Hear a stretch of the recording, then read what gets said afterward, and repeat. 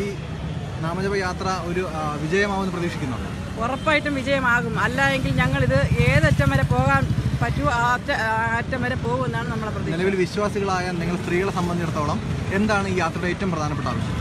ഏറ്റവും പ്രധാനപ്പെട്ട ആവശ്യം എന്ന് പറഞ്ഞാൽ പത്ത് വയസ്സിനും അൻപത് വയസ്സിനും മധ്യയുള്ള സ്ത്രീകൾക്ക് മാത്രമേ പോകാതെ ഉള്ളൂ. ബാക്കി എല്ലാവർക്കും ശബരിമല പോകാം. ശബരിമല പോകാൻ ആരെയും വിലക്കിയിട്ടില്ല.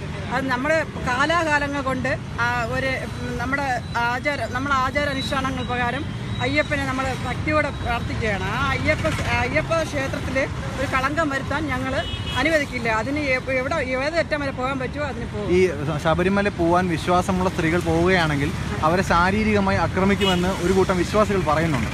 അതിനോട് എന്താണ് പ്രതികരണം? സ്ത്രീകൾ ശബരിമല വന്നാൽ അവരെ ആക്രമിക്കും. ലൈംഗികമായി അവരെ ആക്രമിക്കും എന്ന് പറയുന്ന ഒരു സമൂഹമുണ്ട്. അവർ അങ്ങനെ പറയുന്നതിനോട് എന്താണ് യോജിപ്പാണ് യോജിപ്പാണോ വിയോജിപ്പാണോ?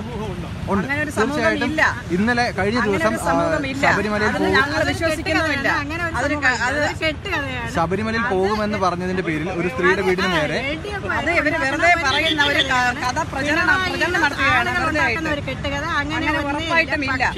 പത്തിനും അമ്പതിനും ഇടയ്ക്കുള്ള സ്ത്രീകൾക്ക് പോകാൻ പോകാൻ പറ്റൂല എന്നുള്ളതുണ്ട്. ബാക്കി അങ്ങനെ അങ്ങനെ പോവുകയാണെങ്കിൽ അങ്ങനെ പോകുന്ന സ്ത്രീകൾ ആരെങ്കിലും ഉണ്ടെങ്കിൽ അവർക്ക് ഇത്തരത്തിലൊരു അതിക്രമം നേരിട്ടാൽ വിശ്വാസികളായ സ്ത്രീകളുടെ പ്രതികരണം എന്തായിരിക്കും? നിങ്ങൾക്ക് എന്തായിരിക്കും നമ്മളെ ഉറപ്പായിട്ടും തടയും. അങ്ങനെ പോകാൻ പാടില്ല. അത്രയും അയ്യപ്പന്റെ അടുത്ത് അങ്ങനെ അഹങ്കരിക്കേണ്ട കാര്യമില്ല. അയ്യപ്പൻ നമ്മളെ വിശ്വാസികൾ പോകുന്ന ഒരു ക്ഷേത്രമാണ്. ആ ക്ഷേത്രത്തിൽ കളങ്കം വരുത്താൻ ഞങ്ങൾ ഞങ്ങളെ ഭാഗത്ത് നിന്ന് ഒരിക്കലും ഉണ്ടാവില്ലെന്നാണ് പറയാനുള്ളത്.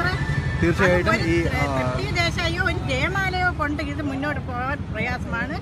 കേരളത്തിലെ വിശ്വാസികളായ സ്ത്രീ ജനങ്ങൾ മുന്നോട്ട് ഇറങ്ങിക്കഴിഞ്ഞു അതിന് പിന്നോട്ടില്ല തീർച്ചയായിട്ടും